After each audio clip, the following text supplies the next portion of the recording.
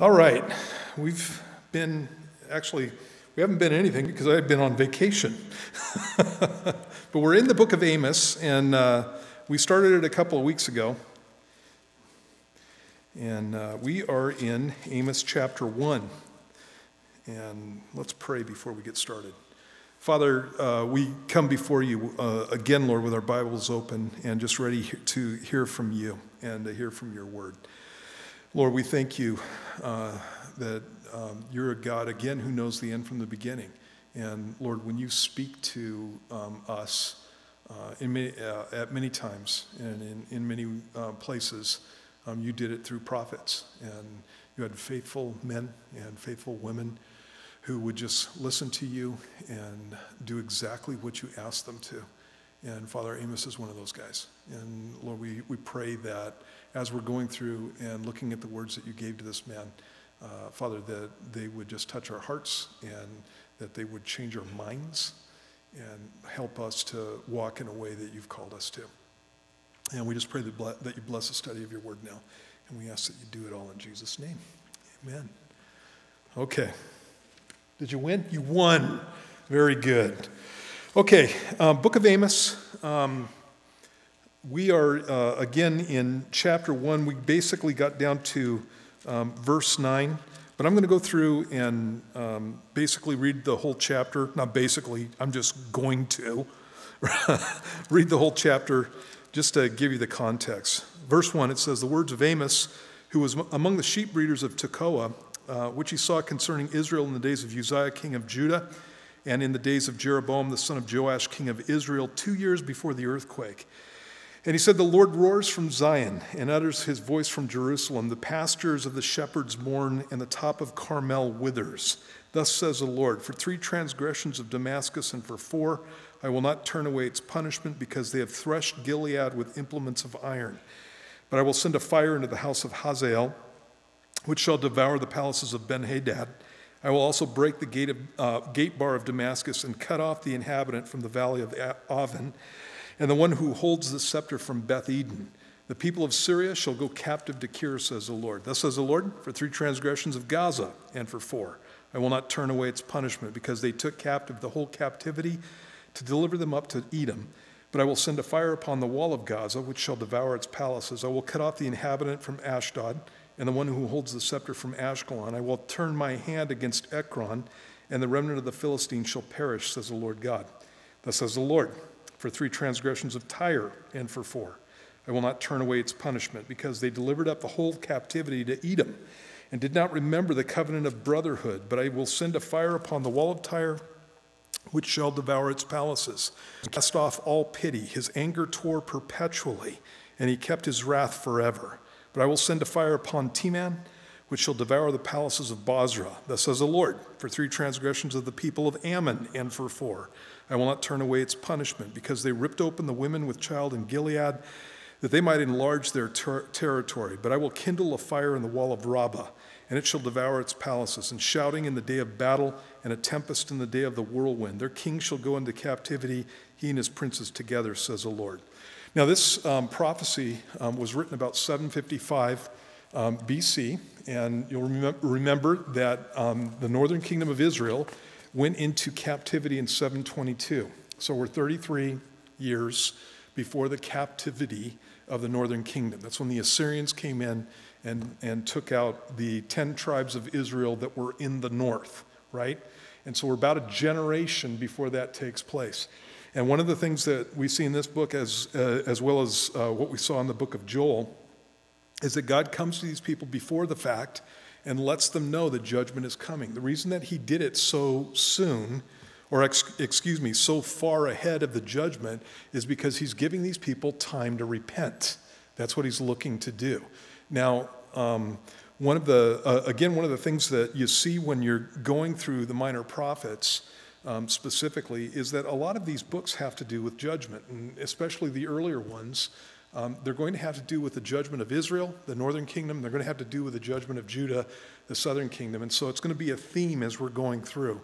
And um, one of the things that I like to tell people when we're going through books like this is to keep in mind that when, when God is pouring out judgment on a group of people, the reason that he's doing it is because they, for a long time, have refused to turn.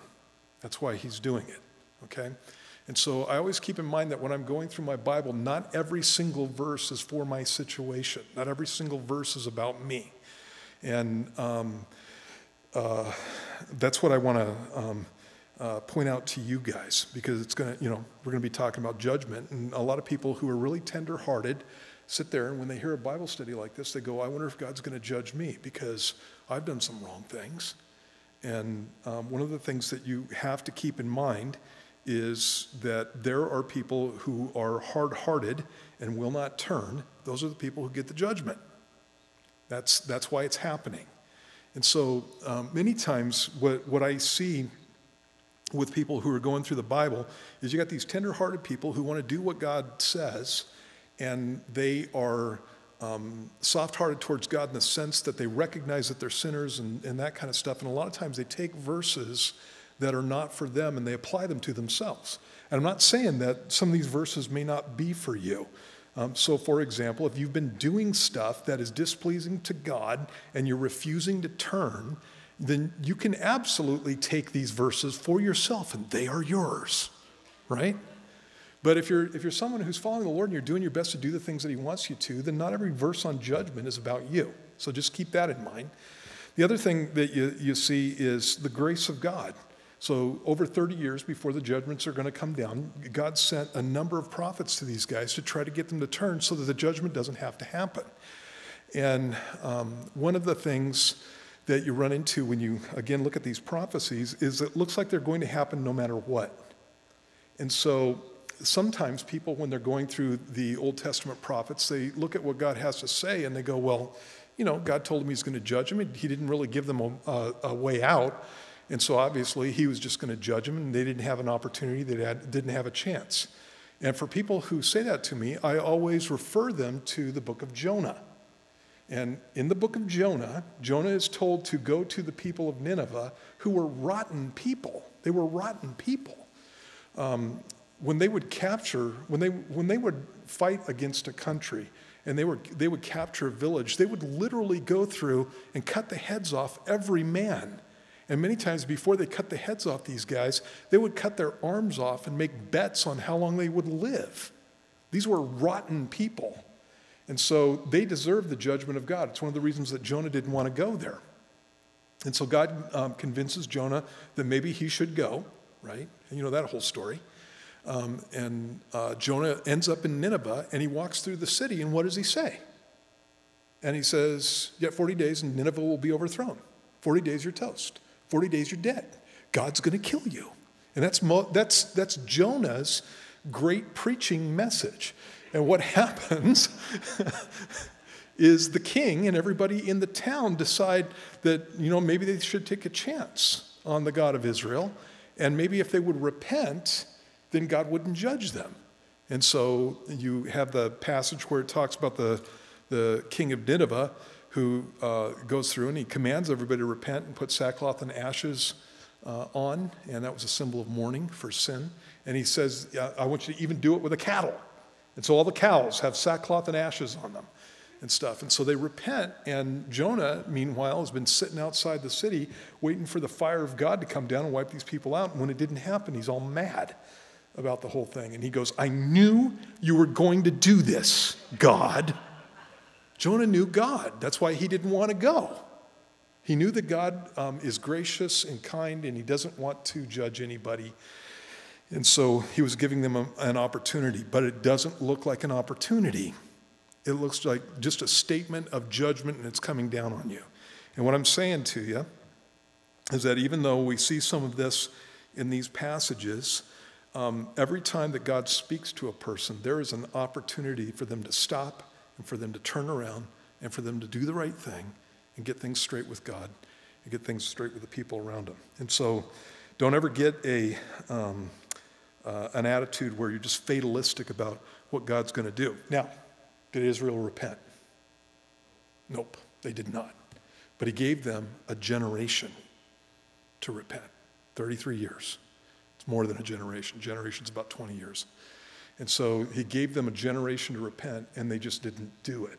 And so it's not God's deal um, in, in the sense that God didn't give them a, an opportunity. And so every time that I go through these books, I keep that in mind. He's gone through and he's um, talking to a group of cities. He doesn't start off with uh, Judah and Israel, he's going to end up with them.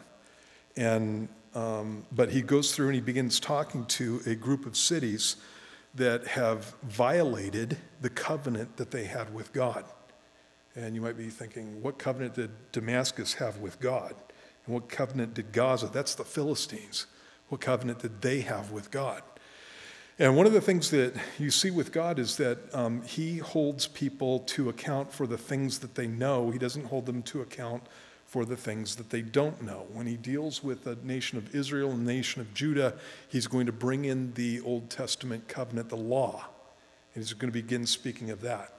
But when He talks to these nations, when He talks to these city states, He is referring to a covenant that God made with Noah and everybody is under that covenant, whether you're talking about Jew or Gentile, everybody's under the covenant with Noah because we all got off the same boat, basically. And that covenant with Noah was from God's, on God's side, that he was not going to flood the earth again, and so he set his rainbow in the clouds.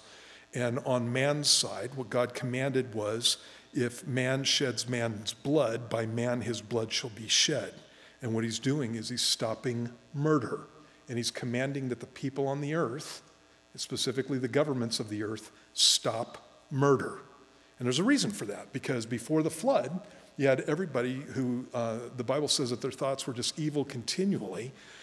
And um, specifically, murder um, in the book of Genesis, in Genesis chapter 5, is flaunted in the face of God by one of Cain's descendants.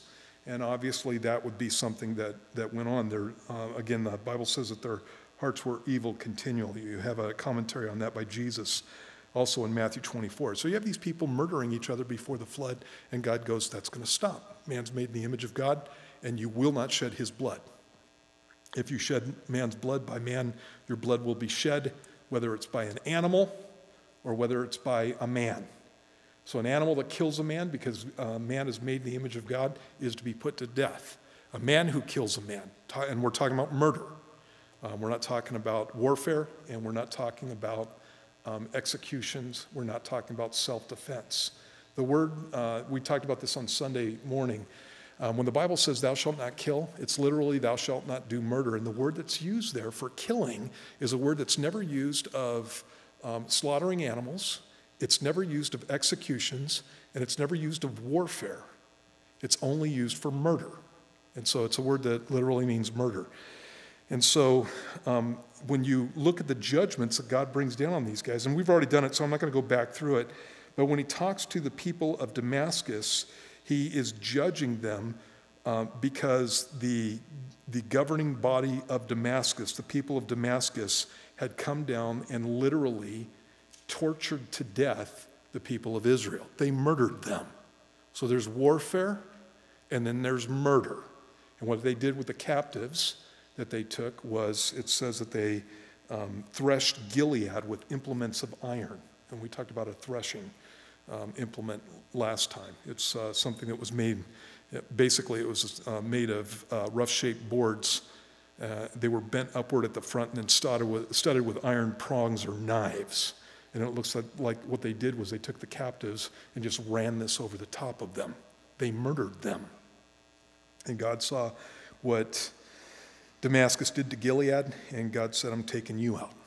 And in every one of these judgments that, that you have here, you have God um, talking to these people, to the city states, as if He's the king and they're a vassal, and this is what I'm going to do with my army to your city. And so with Damascus, he says, I'm going to break, break the bar of your gate, and I'm going to come in and I'm going to destroy you. And he does the same thing with Gaza. Um, he says, verse 7 I will send a fire upon the wall of Gaza, which shall devour its palaces, and I'll cut, cut off the inhabitant from Ashdod and the one who holds the scepter from Ashkelon. And that's a picture of um, besieging a city and then taking it. And that's what God says he's going to do to these guys. The third group um, was Tyre, and that's the last one that we got to last time. And one of the things that, that you'll see as we're going through these judgments that God is pouring out on these um, countries and also on the people of Israel is that he goes from furthest to closest. And what I mean by that is he goes to, um, he goes to nations that are distant in the sense of uh, relation and even distant in the sense of miles from the people of Israel. And then he gets closer and closer as far as relation goes. And so he starts off with Damascus, which was distant from, uh, from uh, Judah, and um, it was further north than uh, the kingdom of Israel. Then he goes to Gaza, which is right smack in the middle of Israel.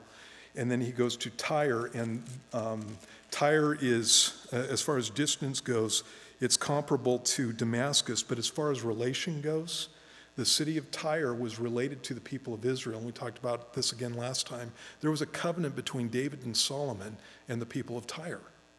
And that covenant was a, a covenant of friendship.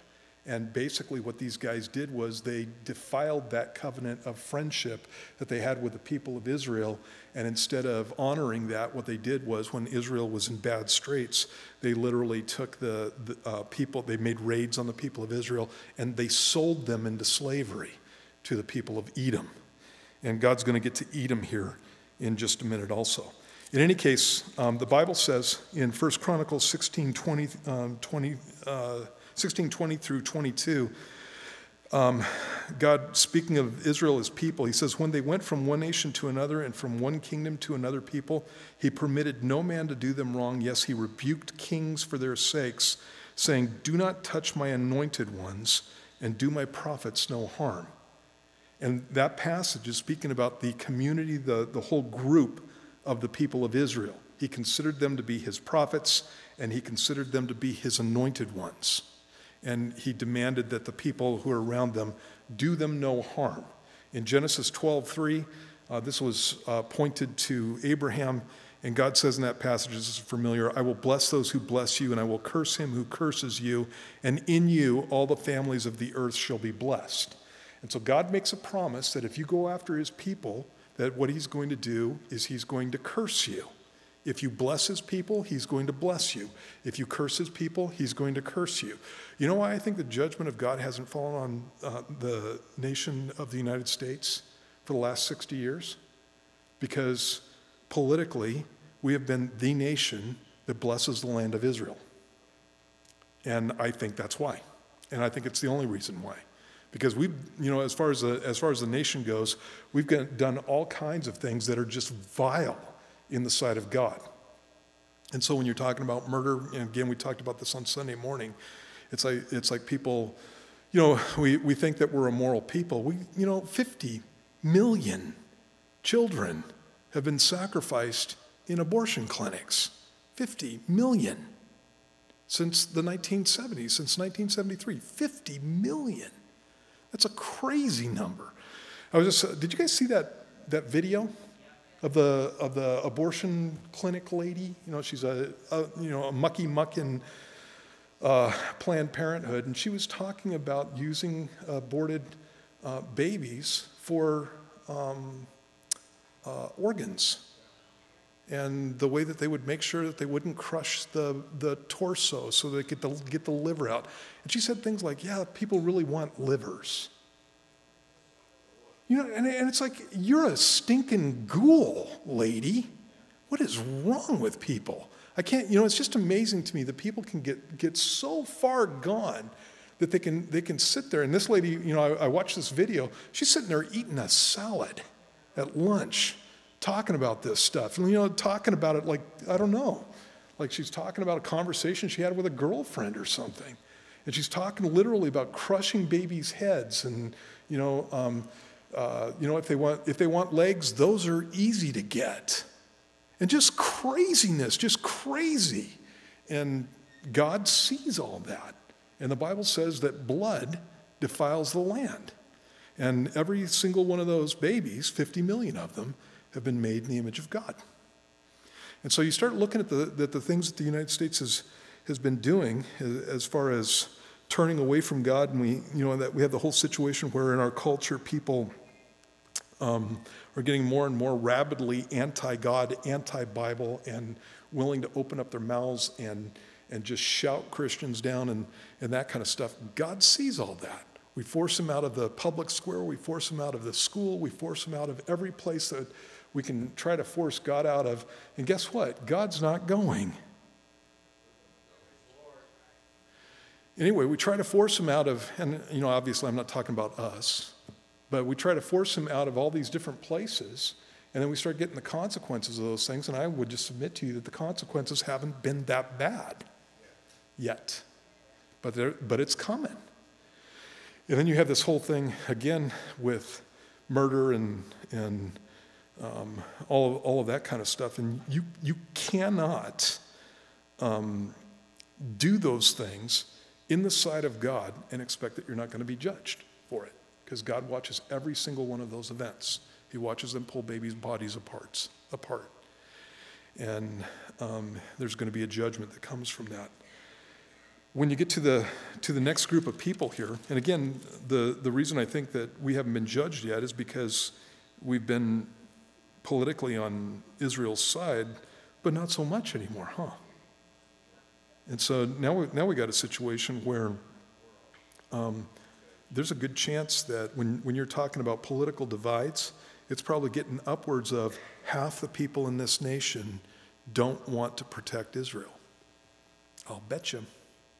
I'll bet you they start doing a poll, you know, because people vote, vote in blocks. And so you have a whole voting block that thinks that you should be able to pull a baby apart anytime that you want to and you have a whole voting block that thinks that I should be able to take your money from you and give it to me. And the government should do that, and that should be okay. And I shouldn't have to work and that kind of stuff. You have a whole block of people that vote that way.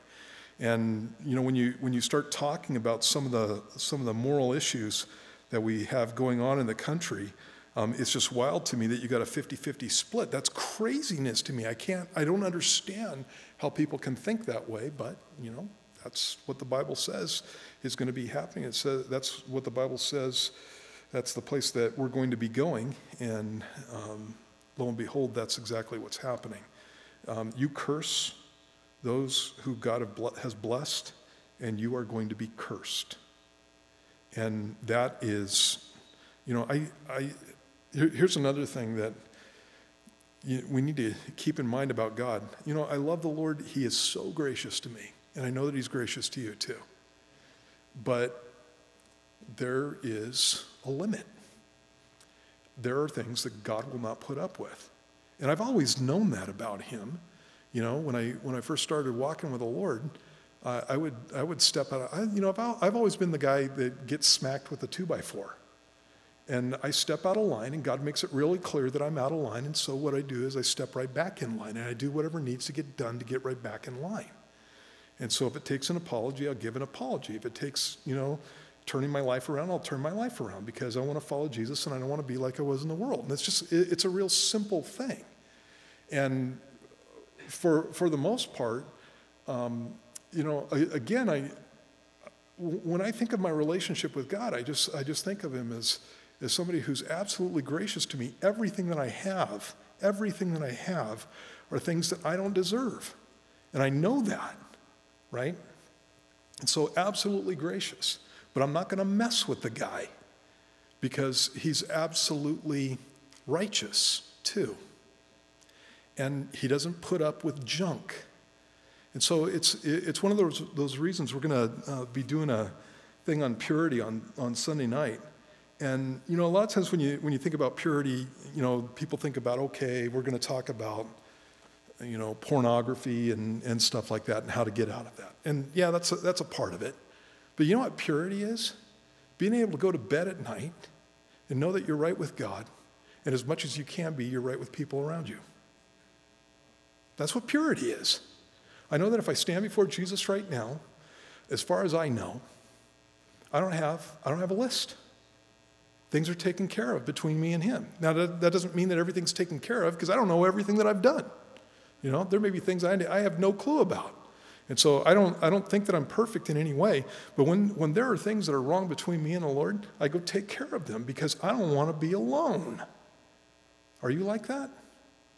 You know, and that's, and that's, the, that's the kind of life that we're supposed to be living as Christians. And so, you know, gosh, man, this, this, whole, this whole thing where, where we're, we're seeing the junk that goes on around us and, and even some of the political situations. It's like you don't mess with God the way that this country is messing with God, especially with the, with the responsibility and the accountability that we have. And, you know, I don't know.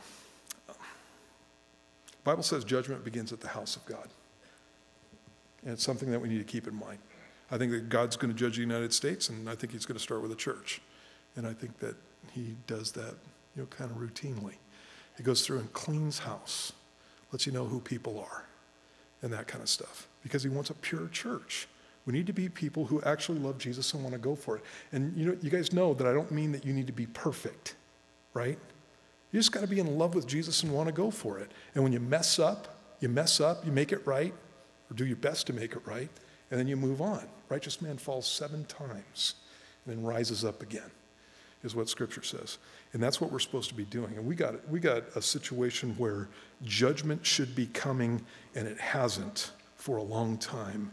And I think it's coming because we're not blessing those that God wants to bless. Now, that's talking about Israel.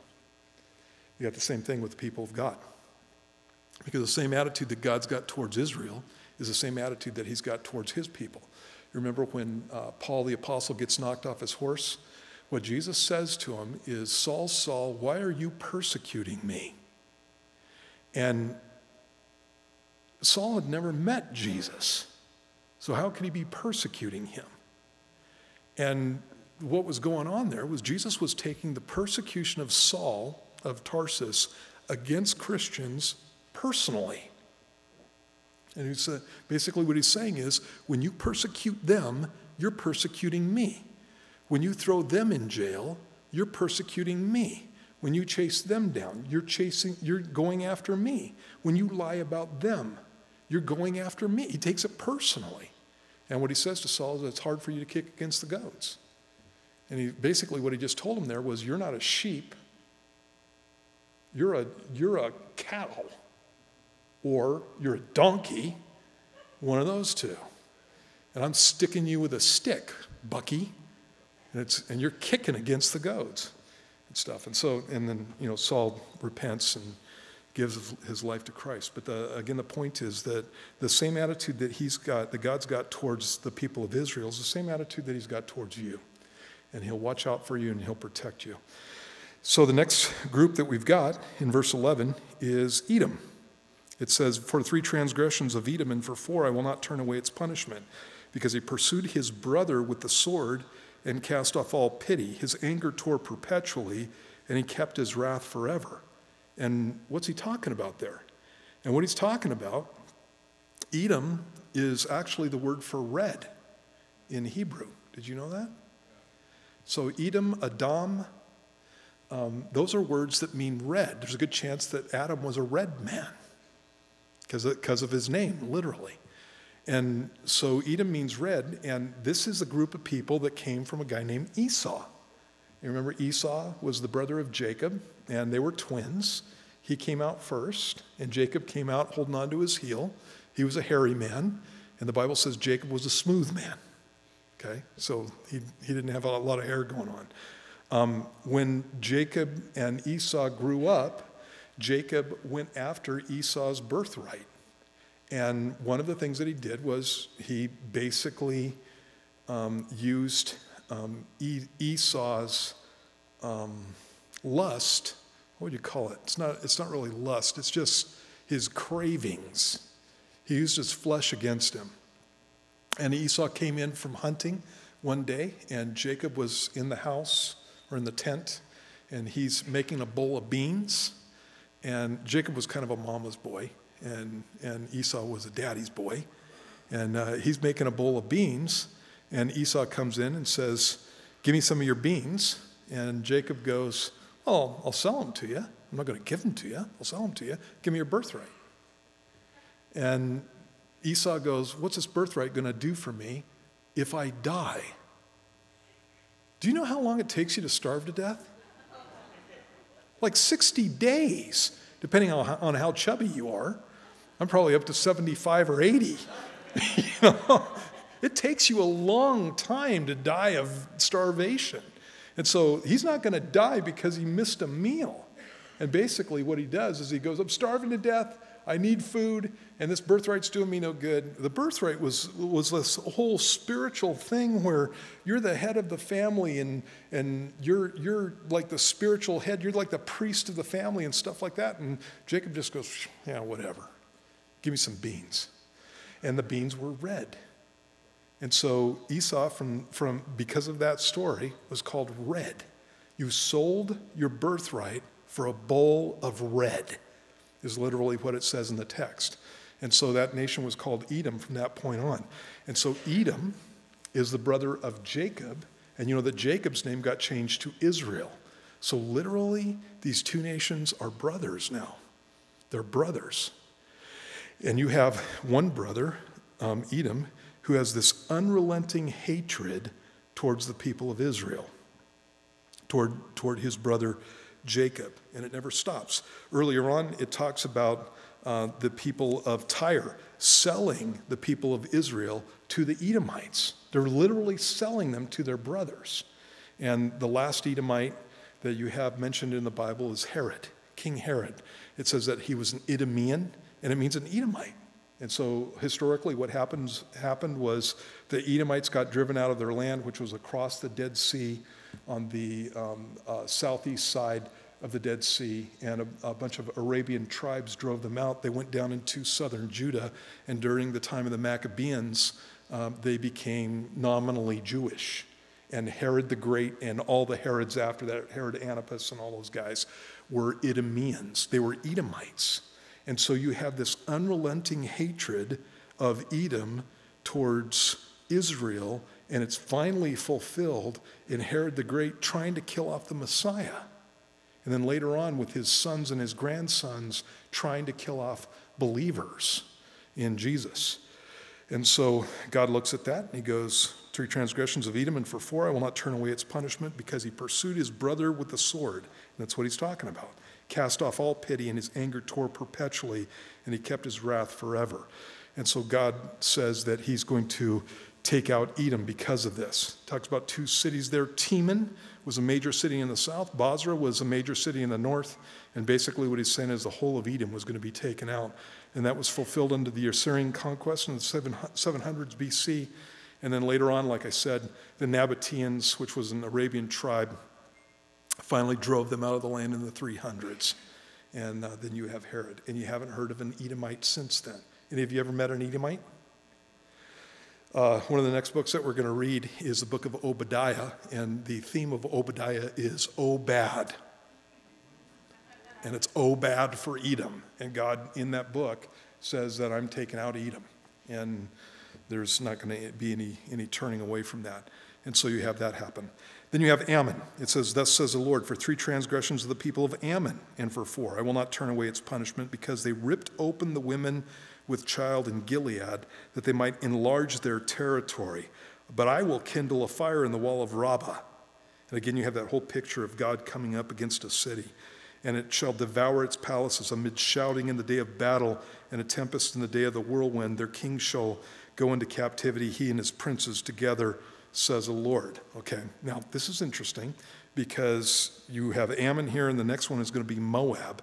And there's a passage in Genesis 19 that talks about where these guys came from.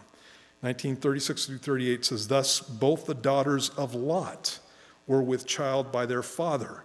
The firstborn bore a son and called his name Moab. He is the father of the Moabites to this day. And the younger, she also bore a son and called his name Ben Ammi. He is the father of the people of Ammon to this day. And so, again, you have this relation between the people of Israel and these nations that God's speaking about. You remember who Lot was? Abraham was told by God, I want you to leave your father and your family, and I want you to go to the place that, that I tell you. And so, what did Abraham do? He stayed with his father and he took Lot. Okay, that's the first time that you see Abraham doing anything. He does get up and move and he packs it up, but he ends up hanging out with his dad and hanging out with Lot. And then his father dies, and after his father dies, then Abraham finally goes down into the land of Canaan, but guess who's hanging out with him? And it's his nephew Lot. His nephew Lot ends up going with him. And when he gets down in the land of Canaan, you have this whole, you have this whole conflict between Lot and Abraham. And Lot is a guy who is just fleshy. And, you know, he nominally followed the Lord in the sense that he acknowledged that, that God was who he was, that he was God. And he had this kind of nominal relationship with him in the, in the sense that it was a little bit distant. And so there was a point where his shepherds, you know, the, God's, God's blessing Abraham and he's blessing Lot because Lot's hanging with Abraham. That happens. God's blessing you and he'll bless your employer too. God's blessing you as an employer and he'll bless your employees too. You hang out with believers and the blessing that God brings down on them many times gets kind of scattered around to the people who are around them. That's what happened with Lot. And so Lot is having his flocks increase, and now their shepherds are getting in fights over water and grazing rights and that kind of stuff. And so Abraham finally goes, This is ridiculous. This has got to stop. And so he goes, Lot, just pick a place that you want to go. And wherever you want to go, I'll turn around and go the opposite way. Now, God had already spoke to Abraham. You know what God gave Abraham? Everything. He gave him the whole deal. The whole land is yours. Not going to give it totally to you yet because there's some things that have to happen, but this whole land is yours. And Abraham was a guy who didn't hold on to the stuff that necessarily God had given him or blessed him with, and he was willing to let God, Lot go wherever he wanted to. And so, you know where Lot ended up going? Sodom and Gomorrah. He looked down to the valley, and back at that time, apparently, you know, the, the valley that Sodom and Gomorrah was found in nowadays looks like the moon. There's, there, there's almost no vegetation at all. But back in that time, the Bible says that it was well watered down in the plain, and it was, it was good for, for um, pasture land and that kind of stuff. And so basically, what Lot does is he looks down there, he sees this nice place, and he decides that he's going to go that, that direction. And it's a great picture of, again, the lust of the eyes lust of the eyes, lust of the flesh, and the pride of life. What happens is Lot looks towards Sodom, then he camps towards Sodom, then he's living in Sodom, and then he's in the gate of Sodom. And what that means is this is, this is how this goes. He's camping towards Sodom. It means he's hanging out around the city of Sodom. That valley is huge. He could have been anywhere he wanted to be, but he was hanging out by Sodom. And then what ends up happening is he moves into Sodom, and when he gets there, um, after he gets in, into the city of Sodom, when it says that he's sitting in the gate of Sodom, it means he's one of the rulers of Sodom. So not only is he involved with the people of Sodom, now he is in politics in the city of Sodom. And that's where he's at when the angel comes to take him and his family out. And his whole family doesn't even get out when God destroys Sodom and Gomorrah.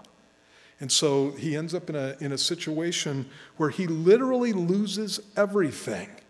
And he goes out of that city, and as the conflagration is coming down on that city, fire from heaven is what it says.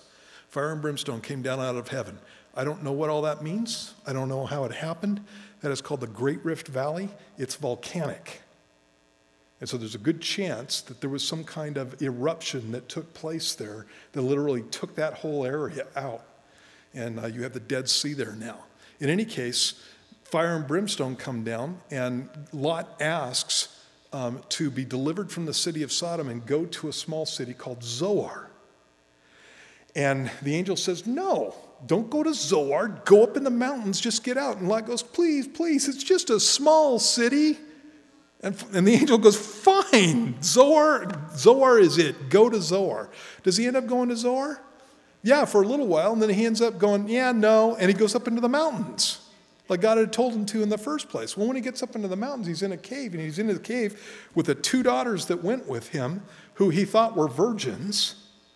And they get this plan, and apparently, I don't know, I don't know what was in their head, but apparently they, they thought that, you know, basically the whole world was being destroyed and they had to repopulate the earth. And so they said, let's do this. Let's get our dad drunk, and you sleep with him the first night, and I'll sleep with him the next night. And they both did that, and they got pregnant, and that's where the, the people of Ammon and the people of Moab came from.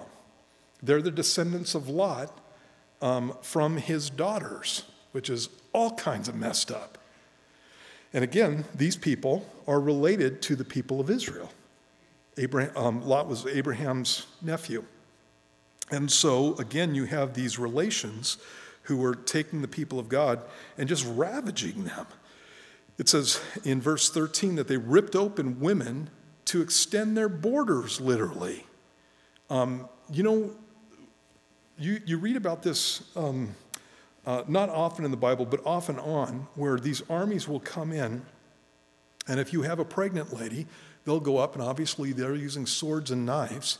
You have a pregnant lady, they'll walk up to them and they'll just stab them in the belly and cut the baby out. And the reason that they do that is to terrorize the population. It's also to get rid of the next generation. Um, can you imagine your wife, your daughter, your sister is pregnant and some just evil man comes in and does something like that? And again, these people are supposed to be related. And so God sees that whole thing. And again, it's designed to decimate and to terrorize a population. God sees that whole thing. And God goes, okay, you know, it's like you came in and you ripped open the women with child in Gilead. And it really happened, right?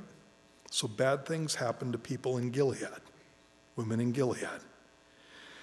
And they went through it and they died because of it. So they died and their children died because of it. And God did nothing to stop it. But He is going to avenge it. And it's one of those things, again, that you got to keep in mind when you're going through your Bible. The Bible doesn't promise me that bad things are never going to happen to me or happen to my friends or happen to my family. What the Bible promises me is that God's got it in control. If I have to go through something like that, God's going to watch out for me and He's going to give me the strength to get through it. And sometimes He'll protect me. And if it's time for me to go, He won't. You see that in Paul's life, for example. So, Paul the Apostle, God's using him, and there are multiple times when Paul should have been dead. The guy was shipwrecked three times, at least twice. He was floating around in the ocean for um, over a day and a night, is what he says in one passage. So, he's, you know what? I, I'm a scuba diver. And when, when you go scuba diving, you know, I used to, I used to snorkel, and snorkeling is kind of cool because you're up on top of the water and you're looking down and stuff like that. But scuba diving is cooler because you actually have a little bit more control. You can go where you want to, right? You got the tanks on your back, you're breathing air and that kind of stuff. You can go where you want to. You know what a guy floating around on the top of the water is? Yeah, he's food. That's food. You're, you, you, are, you are in the, uh, what, do you, what do you call that? Um, yeah, the food chain. You're in the food chain. And so sharks, many sharks attack from the bottom and stuff. Um, you know, it's like I, I think about that um, sometimes. You know, I still snorkel and stuff, and I'm just watching when I'm snorkeling to see, you know, what's underneath me and, and that kind of stuff to make sure that I'm not food, even for little fishies. I don't want to be food for them. I don't want something to bite me and stuff. Can you imagine being out in the middle of the ocean in the dead of night? You know how dark it gets without lights? In the dead of night, you're floating in the middle of the ocean. You have no idea what's underneath you. And that's what Paul the Apostle is doing. Obviously, he was not going to be part of the food chain.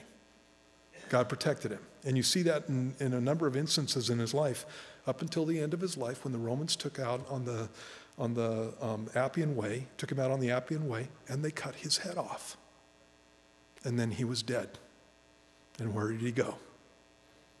Yeah, he went home to be with the Lord. But up until that time, the dude's Superman.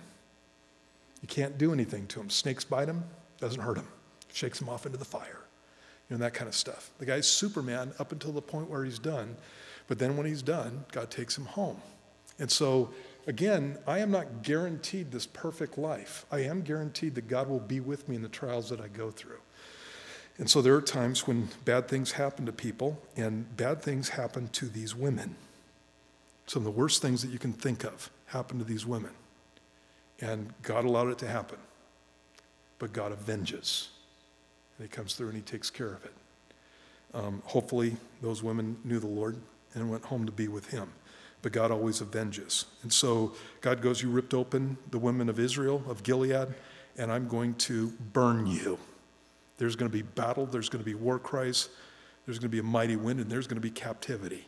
And that was fulfilled in 734 by the Assyrians. Get to chapter 2, and it says, Thus says the Lord, for three transgressions of Moab and for four I will not turn away its punishment, because he burned the bones of the king of Edom to lime. But I will send a fire upon Moab, and it shall devour the palaces of Kerioth. Moab shall die with tumult, with shouting and trumpet sound, and I will cut off the judge from its midst and slay all its princes with him, says the Lord. And so you have Moab burning the bones of Edom's king. You know, uh, in the Old Testament, um, defilement of graves, graves, grave robbery, that kind of stuff, it was just a heinous crime. And so Moab sets fire to the bodies of the Edomite royalty and burns them to lime, and it was something that wasn't to be done. In fact, you know, it's like we look at that, and, you know, that's, that's just cremation to us, right? And so when you, when you go, when you die, or when a family member dies, you have a choice of burial usually or cremation. I don't, I don't know if you have any other choices. You know, I don't know, freeze them, whatever. Okay. Freezing, burial, cremation. Those are your choices. In any case, um, you know, people will ask me at times uh, whether or not whether cremation is okay with God. And in this instance, it wasn't. And the reason that it wasn't is, is because it was a curse on the people of Edom. It was, it was something that was dishonoring and disrespectful to the royalty of Edom. Basically, what they were doing is they were taking away any monumental tomb that they could have. So basically, they're taking the Edomite royalty and just treating them like trash, literally, something that you would burn out in the, out in the dump someplace. And again, God sees that. So does that mean that we shouldn't get be cremated um, when we die? You know, um, if you're cremating somebody because you want to treat them like they're trash, then that applies to you. But if you're cremating somebody because you can't afford a $10,000 burial, then that doesn't apply to you. You know, um, the way that people buried their dead back in those days was, by, was, was usually by putting them into a cave and rolling a rock in front of it. And then after a year, they'd come back and gather up the bones and put them in what was called an ossuary, a little, basically a little chest. And then they would go and bury that chest again usually in the in the same cave. And then the next body would be put on the on the uh, slab that was in there. And so they did this in tombs back in those days. But there are, there are caves all over the land of israel. And um, you know up until the 1800s basically uh, probably the early 1900s you could bury somebody in your backyard and so you know that's what i would like to do i've got four acres I'm thinking about, you know, you know, when, when one of my horses die, uh, dies, I just go out and dig a hole. It's a big hole, but I've had to bury two horses. Go out and dig a hole, throw some lime on them, you know, put them six feet down and cover them up. You know, it's all legal. And when it comes to horses, you can do that. But when it comes to people, you can't. I kind of think that's messed up. I think, I think my wife should be able to bury me in the backyard. You know? And if that was the case, then it's the cost of a bag of lime, basically, and digging the hole. And she could get one of you guys to dig the hole, you know. so it's a pretty cheap burial, and that's the, diff- that's the difference between what, what you have in Bible days and what you have nowadays. You know, I don't care how I die, how I, how, what happens with my body after I die. You know, the Bible talks about the fact that God's going to be able to, He's going to come back and He's going to raise my body from the dead. And it doesn't matter if it's rotten in a grave someplace or if the ashes got spread all over, you know, all over the ocean. You know, that's what I, that's what I want. I, I want to be cremated, and I want my wife to go out and blow my ashes. I don't want her to throw the ashes, I want her to blow them. out over the ocean someplace. And so you have this down on tape, and so you all know my last wishes, right? So you're all going to make Bobby do that, right? Yeah, yeah, sure you are. you lied, bore false witness. In any case, you know, um, it doesn't it doesn't matter if I'm in a grave or if you know if my ashes have been spread around. God knows where the parts are, and He can put the whole thing together, and nothing's going to stop. You know what happens in cremation is you just speed up the process, and when you bury somebody, they rot away, they become dust, like the Bible says. And uh, ashes to ashes, dust to dust, as it's said in the little poem. And uh, um, God can take care of that whole thing. In any case, when the Moabites did this, though, what they were doing was they were dishonoring the people of Edom. And again, Edom is family to Moab. Okay? And they're doing this stuff. And so God goes, Moab's, Moab's going to die in tumult. So God judges many times, even on behalf of the wicked, because they're still made in the image of God. And all the way through this, what you see with these different nations is that God is looking at these, these nations or these city states, and He's saying, You violated my covenant, the covenant that I have with you, which again is a Noahic covenant. You're not to treat man like he's something less than what he is. What man is, is made in God's image. And I'm speaking in the um, generic here. And so we as men and women are made in the image of God and we're to be treated accordingly. And you don't get to do the stuff that these guys have done without getting the judgment of God. And so God doesn't just judge for Christians, He'll judge for non believers too. And He sees the events that takes, take place on this earth and He takes care of things. And sometimes He doesn't do it as quickly as we would like Him to, but He does take care of them. And so, again, what happened with Moab was the Assyrians came in and conquered these guys and wiped them out. And so, again, you have that whole thing. Um, and we'll just stop right there because I want to do communion. Turn over to 1 Corinthians 11. And, you know, um, this is usually the passage that, that I go to when we're going to do communion. And obviously, it's because of the, the whole thing here with Jesus' body and and, and his blood and the cup and the, and the bread and all of that stuff. But the context of this passage is unrighteous treatment of some Christians towards other Christians. And just real quick, let's go, let's go through and, and look at it. 1 Corinthians 11, 17, it says, Now in giving these instructions, I do not praise you since you come together not for the better, but for the worse. For first of all, when you come together as a church, I hear that there are divisions among you, and in part I believe it.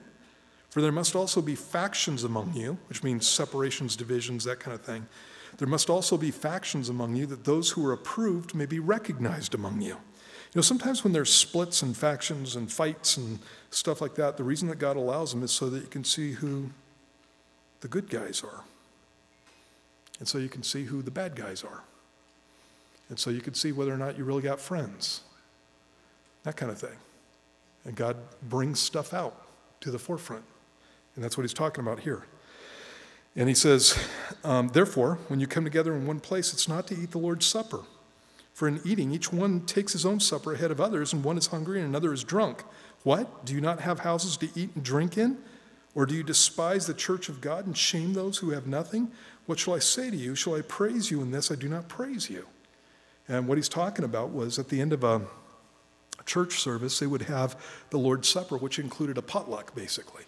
And so many times you had Christians there who were so poor that the only good meal that they had all week long was literally at the church. And uh, a lot of these guys were slaves. And so they come to church and they have nothing to bring. And so the free believers are bringing most of the food, and you know how that gets. You go to the potluck, you bring all this food for you and your family, and for maybe, you know, you fix enough for another family or two and stuff like that. And then you get through the line and, you know, you, you're a little bit late and there's nothing left for you and your family. And you do that at a couple of potlucks and it starts to get old, right? You know, um, actually, usually when I'm at a, at a, potluck, I just wait until the end, you know, um, because, you know, it's just, you, you, want, you want people to, you just don't want to be in front, right? except for one time. Do you guys know what happened to me? Was that the India dinner? Yeah, it was the India dinner. So we're having the India dinner, right? And so my rule is I come in after, you know, I go, I go up and get something to eat after everybody else has eaten. That's, that's always been the rule. It's how I always do it. And so my secretary tells me, okay, India dinner's starting at six. And, uh, you know, I, and I know she told me the right thing. She, she probably told me it starts at 6, they're going to be eating at 6.30. But what I got in my head, because I'm so busy, is it starts at 6, and so I figure everybody's going to be eating at 6. So I'm in my office doing stuff, and, and Bobby couldn't come because she wasn't feeling good. And so I decide, well, I'm just going to wait a while, and I'll wait till about 6.20, 6.25. And so it comes along 6.20, 25, and I come walking in, and you know I pay my money because I want to support those guys and stuff. And so I go up and get something to eat. Guess what? Everybody else is sitting at the table. They literally haven't taken the trays off the, or the lids off the trays and stuff. And so I go walking up to get something to eat, and uh, Rob comes in and he, and he, go, and he you know, takes the tray off for me, and I go, oh, this looks really good and stuff. And so I'm just sitting there, you know, just piling stuff on my plate. I'm like, wow, there's food. This is awesome. You know, I always, you know, it's like I'm always getting the dregs here. This is really great and stuff. And I turn around and nobody else is eating. And I'm like, what's up, Rob? Are they supposed to be eating? He goes, well, yeah, I think they're supposed to be eating. I go, why aren't you guys eating? And so then I, you know, I, I finish this all up and I go sit down. And then um, Zach comes up and he comes up to pray for the meal afterwards. And so there's the pastor. He comes walking up, goes and gets his food first, goes over and sits down. I was so embarrassed. I could not believe it. In any case, that's what these guys were doing. They were going and making sure that they got fed before anybody else did. And some of the people who were the least in the church in the sense of monetarily were not getting. Actually, they were just being left out. And you can imagine um, how, I don't, I don't know, I've, I've seen some Christians do some pretty awful things at times. And I can, I can imagine if Paul has to say this to these guys, I can imagine how that was going. You know, you, can, you could see some Christians standing there with their family and going in and getting the food, and somebody who's poor comes up and they go, Well, did you bring something? Well, no, you know, well, maybe you should be polite and stay in the back of the line while people who actually brought something get something to eat, and you can just kind of wait your turn. Can you see somebody saying that? Yeah, absolutely. Is that wicked?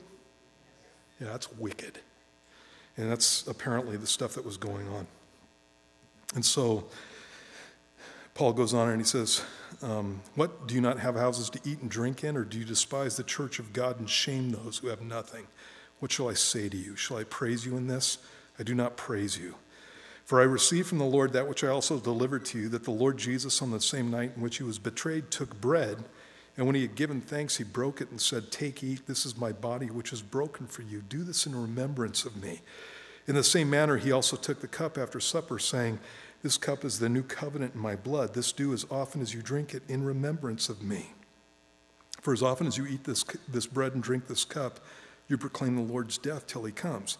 Basically, what Paul's saying is, Don't you know what you're doing when you're celebrating the Lord's Supper? And they would always end it with communion. Don't you know what you're doing?